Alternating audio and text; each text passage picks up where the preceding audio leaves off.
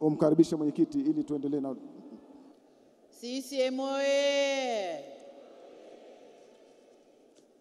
Ndugu zangu wajumbe wa mkutano mkuu, ajenda mbele yetu ni kufanya uchaguzi utakaomchagua makamu mwenyekiti wa Chama cha Mapinduzi kwa upande wa Tanzania Bara.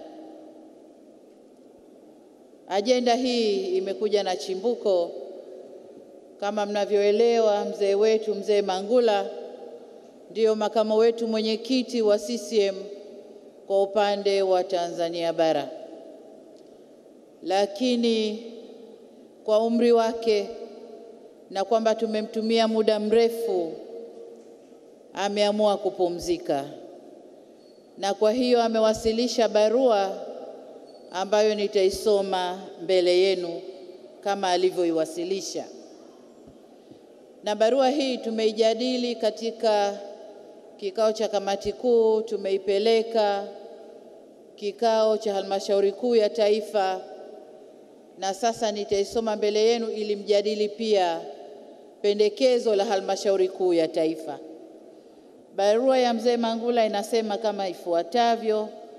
Ameileta kwa mwenyekiti wa Chama cha Mapinduzi Taifa yenye kichwa cha habari kung'atuka nafasi ya makamu mwenyekiti wa Chama cha Mapinduzi CCM Tanzania Bara. Tafadhali rejea kichwa cha habari hapo juu. Kwa heshima na taadhima, naomba kujulisha kuwa nimeamua kung'atuka nafasi ya makamu mwenyekiti wa CCM Tanzania Bara. Ametumia neno zuri kung'atuka, na sio kujiuzulu, ni kung'atuka. Uamuzi wangu huu umetokana na sababu binafsi zikiwemo za umri na utumishi wa muda mrefu zimesababisha kutotimiza majukumu yangu kikamilifu.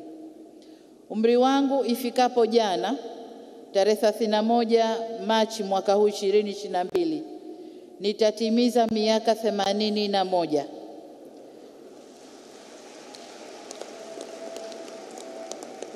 Na kwenye kamati kuu tulishamwimbia happy birthday na kumpa keki kwa niaba yenu lakini anaendelea kusema kwamba nimeanza utumishi tangu tarehe moja Januari mwaka 1962 mwenyekiti wenu nikiwa na miaka miwili. Wakati huo mzee wetu tayari ameanza kazi. Nilianza kazi ya ualimu katika chama, niliteuliwa kuwa mwalimu wa siasa mwaka 68 baada ya kamati kuu ya tano kuteua makada 75 walioandaliwa kwa kazi ya kutoa mafunzo kuhusu siasa ya chama na pia kuhusu ujenzi wa chama. Mwaka 1969 niliteuliwa na chama kwa miongoni mwa walimu katika chuo cha tano Kivukoni. Nilikuwa mhariri wa majarida mawili yaliyokuwa yakitolewa na chuo hicho kila, mwe, kila miezi mitatu. Majarida hayo ni Ujamaa na Mbioni. Niliendesha mafunzo ya masafa kupitia Redio Tanzania kupitia vipindi vya Fimbo ya Mnyonge kilichohusu ujenzi wa ujamaa vijijini na kingine cha ukombozi kusini mwa Afrika kilichoitwa The Rational Choice. Nilikuwa mwalimu mshauri wa chuo katika nilikuwa mwalimu mshauri wa wanachuo katika chuo hicho. Baadaye kamati kuu ya tano iliniteua kuwa makamu mkuu wa chuo kwa miaka sita. Niliteuliwa kuwa katibu wa chama wa wilaya na mkuu wa wilaya. Baadaye niliteuliwa kuwa katibu wa chama wa mkoa na kisha mkuu wa mkoa kwa miaka kumi na moja kabla sijachaguliwa kuwa katibu mkuu wa CCM kwa miaka kumi. Nimekuwa makamu mwenyekiti wa chama kwa miaka kumi sasa. Huu ni wakati mwafaka wa kupanga na kusuka timu ya kukiimarisha chama kwa ajili ya kusimamia utekelezaji wa ilani ya 2020 2025. Napenda kutumia nafasi hii kutoa shukrani zangu za dhati kwako mwenyekiti wa CCM Taifa Mheshimiwa Samia Suluhu Hassan, makamu mwenyekiti wa Zanzibar wa CCM Zanzibar, sekretariat ya taifa ya CCM, kamati kuu, halmashauri kuu ya CCM pamoja na wanachama wote wa CCM. Ushirikiano mlionipa katika kipindi changu cha kushika nafasi hii uliniwezesha kutekeleza majukumu yangu kwa ufanisi na amani. Naomba kuhakikishia kuwa nitaendelea kuwa mwanachama mtiifu na mwadilifu kwa chama chetu cha Mapinduzi na raia mwema wa Tanzania. Aidha, kufuatia uamuzi wangu huo wa, wa kung'atuka, mimi nasema kung'atuka, lakini mwenyewe jana kwa nasa kung'atuka katika nafasi ya makamu mwenyekiti wa CCM Tanzania Bara, nafasi hiyo itakuwa wazi, hivyo nashauri achaguliwe mwanachama mwingine wa CCM wa kujaza nafasi tajwa kwa mujibu wa katiba ya chama chetu. Kidumu Chama cha Mapinduzi! Philip Jafet Mangula.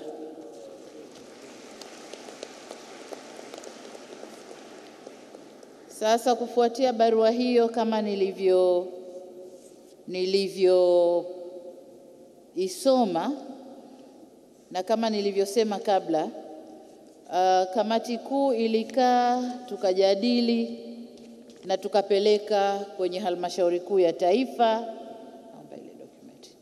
Na halmashauri kuu ya taifa wakatuagiza tulete ile dokumenti ya mzee, tulete um, pendekezo hili kwenu, na kwa sababu kama ilivyo kwamba mkutano mkuu wa CCM kama ilivyo kwenye vifungu ibara ya tisini na tisa ya, ya uh, katiba ya chama chetu cha Mapinduzi tisini na tisa tano na tisini na tisa mbili kwamba mkutano mkuu wa CCM ndio chombo kikubwa cha juu chenye mamlaka ya kufanya kazi hii ya kumchagua makamu mwenyekiti wa chama chetu kwa upande wowote ule, iwe Tanzania bara iwe Zanzibar.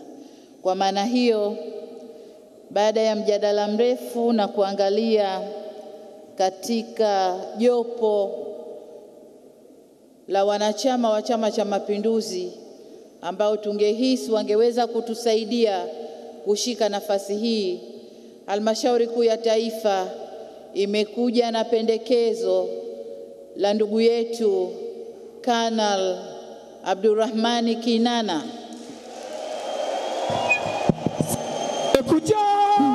Sasa kumekucha, jogo limekusha wika Dodoma. Sasa kumekucha, sasa kumekucha, jogo limekusha wika Dodoma. Kweli Kada wa CCM kana wa CCM kura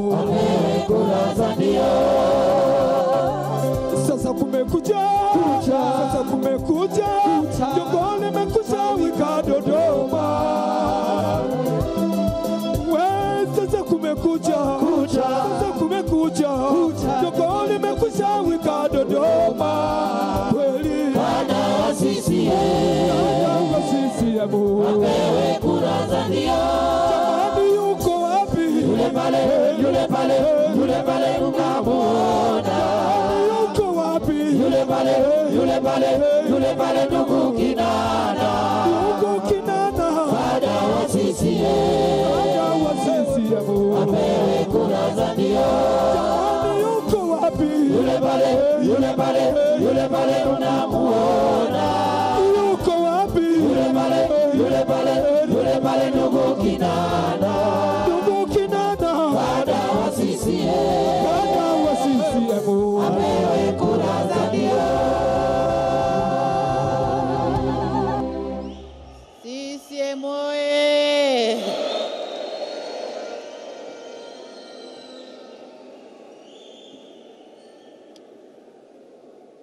CCM oye!